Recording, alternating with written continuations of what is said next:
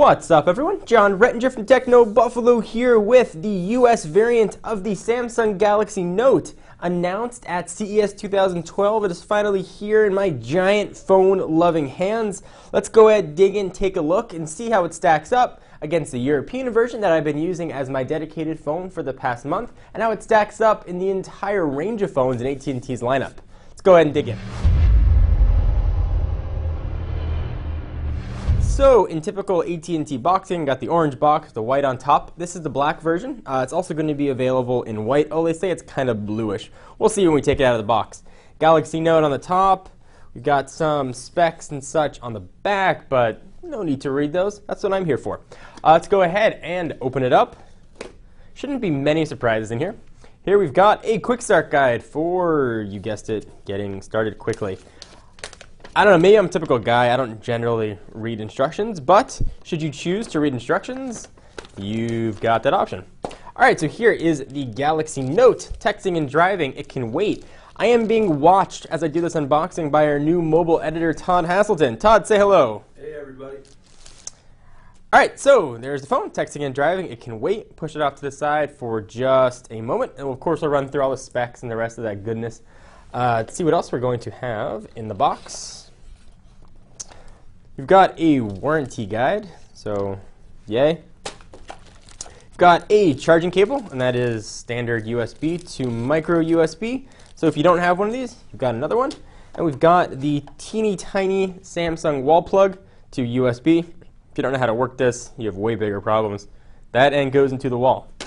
And that's all that we've got in the box. And the folks at Samsung also sent us, we'll show you this at the end of the video, a S Pen holder kit. Honestly, I have no idea what this is, but we'll discover it together. So if you want to see what's going on in here, stay tuned to the end of the video. All right, so here is the Galaxy Note. I'll go ahead and power this sucker on. I think the battery's already in there since it wasn't in the box. And I'll run, looks like the phone itself was actually on.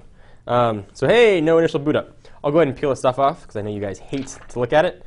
And we got one here on the back. See if we can get that satisfying whooshing noise. Come on, whooshing noise. Boom. Galaxy Notes. All right, so let me run through the specs of this Mamma Jamma, which is sort of an odd phrase. Mamma Jamma. All right, let's bring the camera in a little bit more, and we can take a look and run through your Galaxy Note. Say it like a sports announcer. Go ahead and slide to unlock, and boom, it is unlocked, and there we've got TouchWiz. All right, so the release date of this guy, uh, the street date is February 19th. Uh, if you pre-ordered before the 16th, you will get yours on February 17th.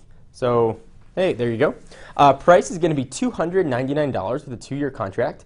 Uh, it is running Android 2.3, so it is gingerbready. Uh, but Samsung and AT&T has said it will get ice cream sandwichy, uh, hopefully sometime in March. Uh, from a dimension standpoint, this is a big phone. It's a 5.3 inch phone, so dimensions are going to be on the larger side. Uh, 5.78 inches by 2.37 inches by a very slim, if I can throw it around, 0.38 inches. It's a surprisingly uh, slim and slender phone.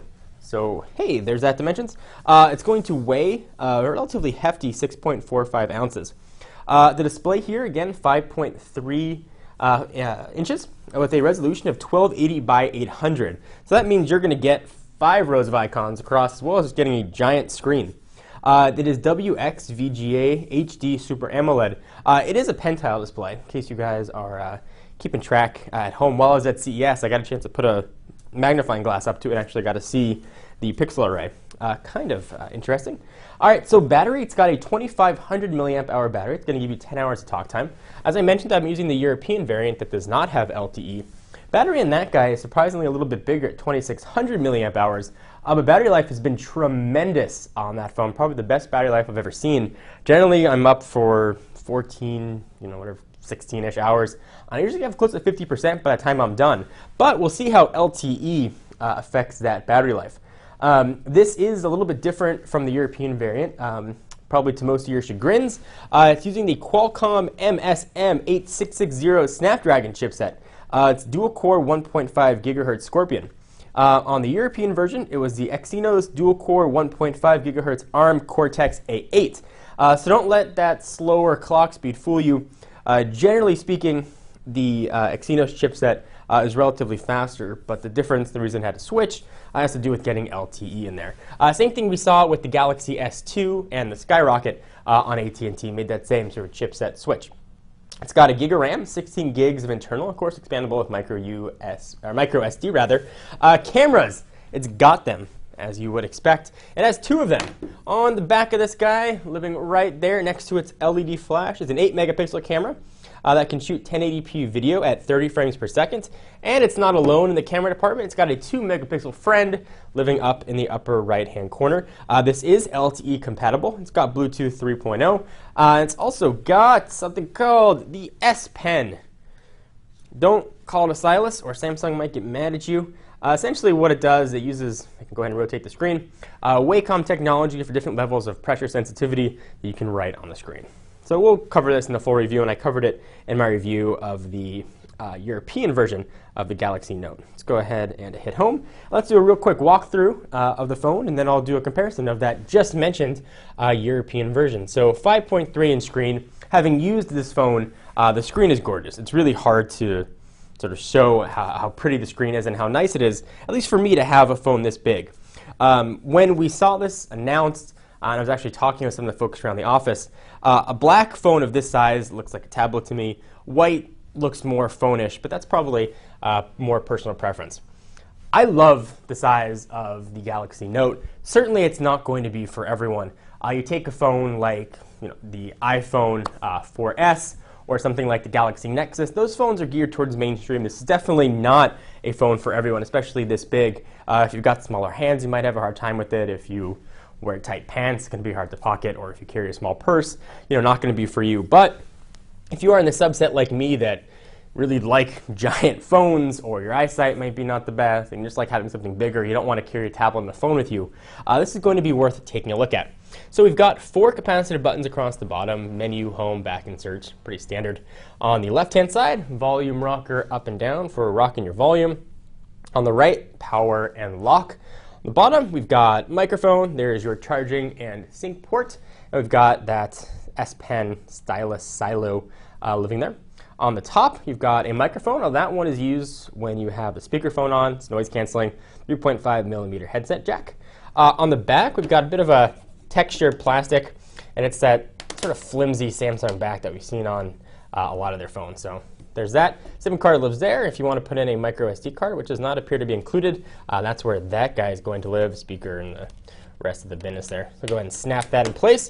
So I promised that I would show a comparison um, with the European variant. So I'll go ahead and slide this guy in. I might need to back up the camera, get a wide angle lens to show uh, two phones um, this big. So go ahead and turn that one on and turn that one on. You can see a little puppy Lucy. Uh, so the big difference here, um, obviously, aside from the color, and you can pick which color you like best, is this big home button, which I really liked. Uh, AT&T and Samsung did the same thing with the European Galaxy S2 versus the version of the Galaxy S2 that came to the US. Uh, this version has two capacitive buttons on the left and right, and then that big home button. Uh, it's gotten rid of that for obviously the uh, four buttons there on the bottom. Uh, the back, this was a sort of a shiny, um, glossy plastic. Here we've got that textured back. Uh, no Galaxy Note branding here. You've got Galaxy Note branding here. Cameras, both the same. Speaker grills, the same. Silos, uh, just the same. And then, of course, AT&T branding on this one. I'm throwing this around. And uh, no AT&T branding uh, on this guy. So 5.3 inch phone, how's it going to look next to, let's say, a normal size phone? Well, I've got your answer. Here is an iPhone 4, same as the 4S. I mean, it almost looks like a like a before and after shot in one of those weight loss commercials. Um, go ahead and stack these two uh, on top of each other, and you can really see the difference. But you can also see uh, the thinness of the Galaxy Note. So hey, there's that. Uh, let's bring in a little bit bigger phone. Here is uh, its Android and AT&T friend. This is the Skyrocket. See the size difference there. Stack them. You actually see how thin uh, the Note is. So curious here and what I'm looking forward to checking out in the review. Battery life uh, and the difference in the chipset. Of course, I'll run it through uh, its paces, see how it stacks up on the benchmarking, and hopefully we can get that decent performance uh, that I've come to love on the Galaxy Note. So I am Jon Rettinger from Techno Buffalo. It's been a first look and unboxing at the AT&T Galaxy Note. And for those of you that stuck around, I promised we would see what the heck an S Pen holder kit is. So instead of reading on the back what it is, more fun to dig in. I'm going to assume that it's not just a holder. It's got to do something else. I can't imagine Samsung would put something out, that would just hold your stylus that your phone already does. Um, so I'll give benefit of the doubt. We'll see if I have to pull that benefit of the doubt back, though, in a minute. Go ahead and dig in.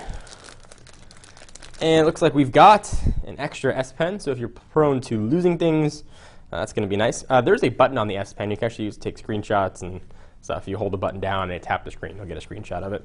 And here is the holder, which it looks like it turns it into a regular size pen.